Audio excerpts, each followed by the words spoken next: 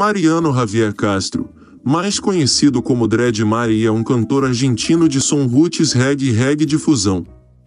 Ele nasceu em 31 de janeiro de 1978, em Quiquém um trabalhador em casa que nem sequer era do rádio. Depois de sair da sétima série, ele se mudou para Maipú, de Buenos Aires, onde começou a trabalhar na padaria que seu pai tinha aberto. Depois de regressar a Buenos Aires e várias obras, começou a dar seus primeiros passos em sua carreira musical como cantor de coral Mensageiros Reggae.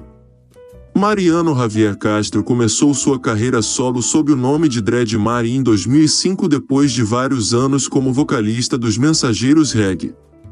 Em abril do mesmo ano ele lançou seu primeiro álbum, Jagaide. A canção Inspiration, que era parte dele, foi o tema musical do programa da ESPN Gravidade Zero. Ele participou como corista Estável Cafres, que acompanha a banda no estádio Água e o Luna Park, onde eles gravaram o DVD Luna Park. Ele também substituiu Guilhermo Boneto, vocalista da banda em dois concertos pela costa da Argentina. Em 2006 participou na primeira edição do clássico festival Bob Marley Day.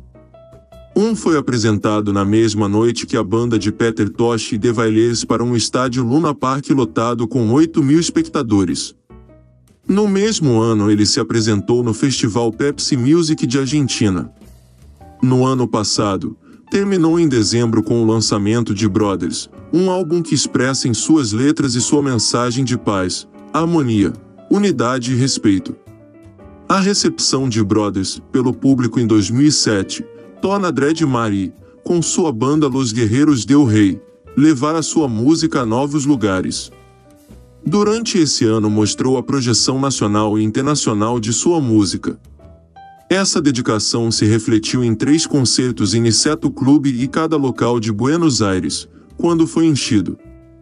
Ele voltou a participar do Pepsi Música e fechou o ano com uma performance no Niceto, onde mais de 300 pessoas ficaram de fora da sala dançou com sua música.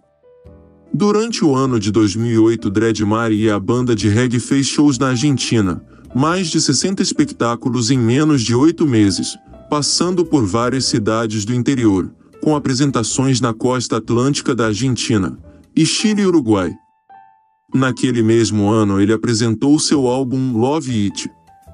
3. Dread Mari, a referência indiscutível do novo som do roots reggae do Amante. Em seguida, apresentou Eu Vivia em seu quarto álbum. Ele contém 20 faixas e foi gravado e masterizado no Panda Studios pelo engenheiro Emil Cura, entre dezembro de 2009 e janeiro de 2010. Em 27 de abril de 2011, a banda chega pela primeira vez no estádio Luna Park, uma circunstância que aproveitou a oportunidade para editar o seu quinto álbum, intitulado Silêncio que foi incluído na compra do ingresso para o show. Este álbum contém 10 músicas e características especiais convidado Luciano, um dos maiores expoentes do reggae jamaicano. Lembre-se também que este ano Dread Mari e Guerreiros do Rei, The Band, visitou o México pela segunda vez oferecendo um show em Guadalajara por mais de 5 mil pessoas e fez sua primeira chegada em Costa Rica, Guatemala, El Salvador e Brasil.